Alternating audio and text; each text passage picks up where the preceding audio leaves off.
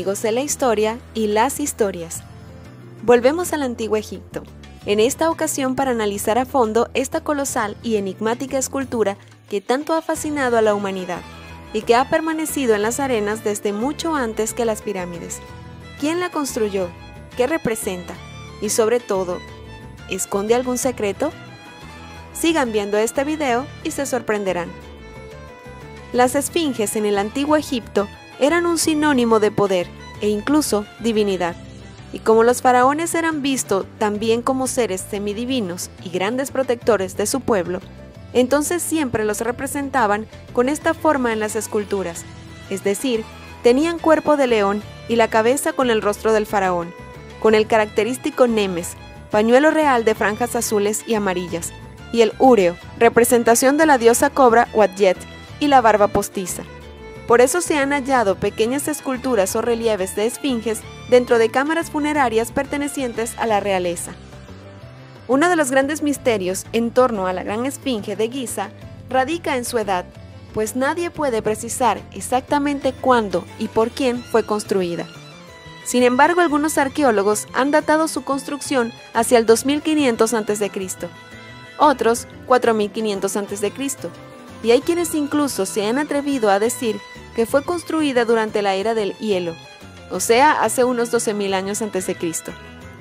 El historiador griego Herótodo, al mirarla la llamó androesfinge, es decir, esfinge masculina, ya que él estaba acostumbrado a las esculturas que representaban esfinges griegas, cuyos cuerpos eran de león, el rostro de mujer y alas de águila.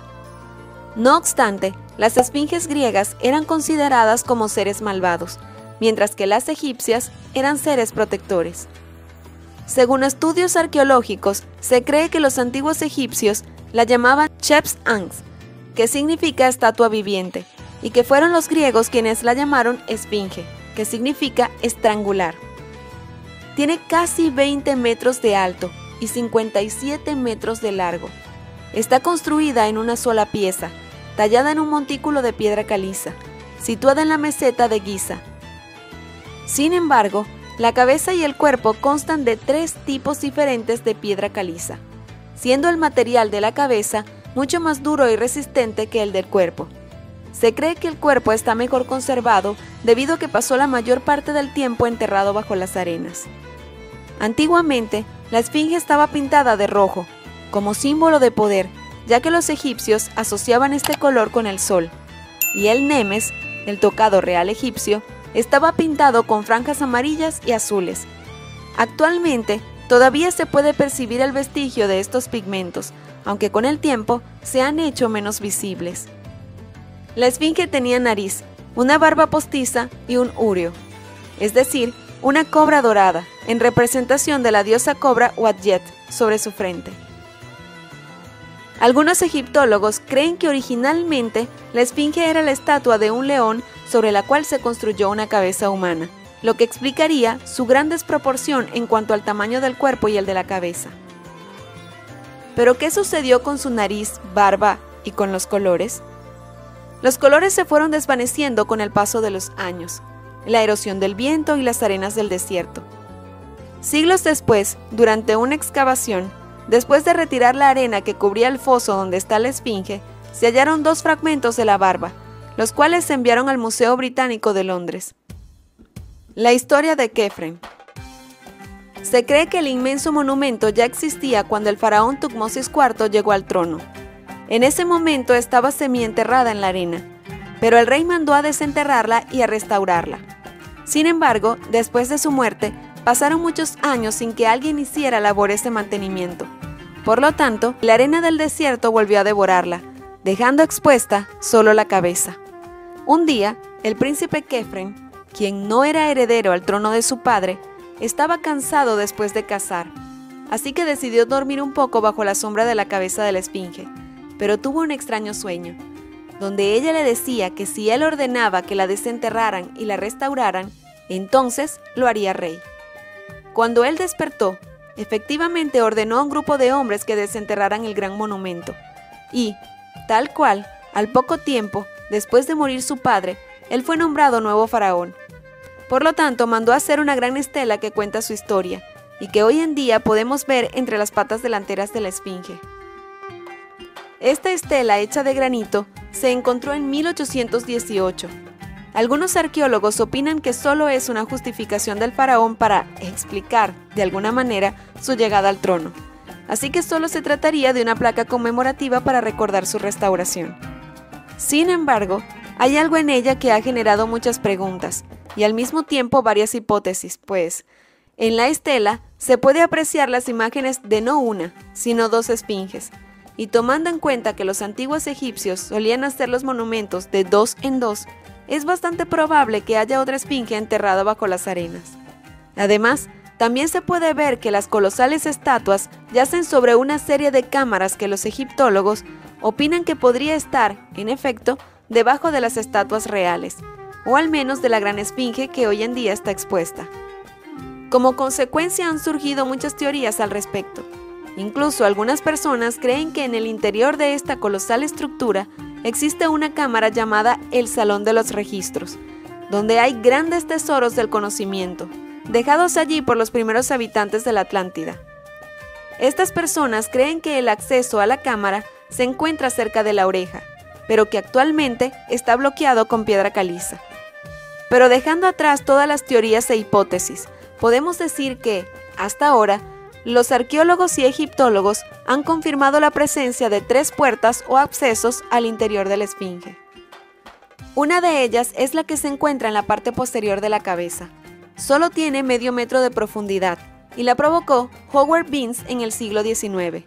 Probablemente estaba en busca de tesoros inexistentes.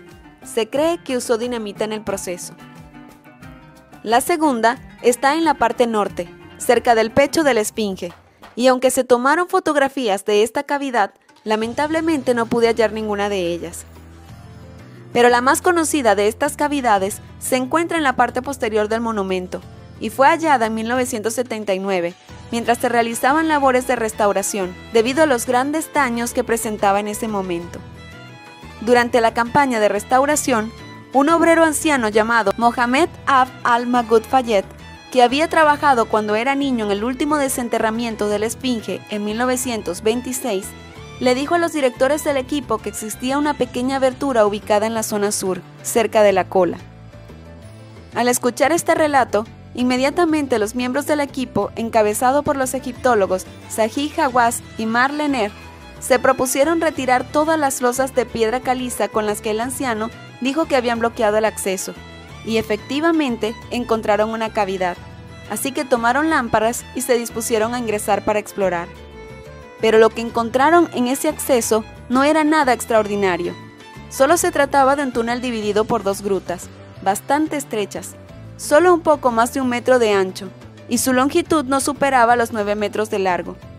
Uno de estos túneles desciende hacia la roca de la meseta de Giza, pero el otro es ascendente, y sigue la curva de las patas traseras del león. Este túnel finaliza en una especie de nicho de un metro de ancho por 1,80 de alto. No pudieron seguir avanzando ya que después del nicho el acceso está obstruido por bloques de mampostería. Sin embargo, hay accesos bloqueados de los que no se habla mucho actualmente. Aquí podemos ver una fotografía tomada por un globo aerostático en el siglo XIX, donde se aprecia la cavidad abierta.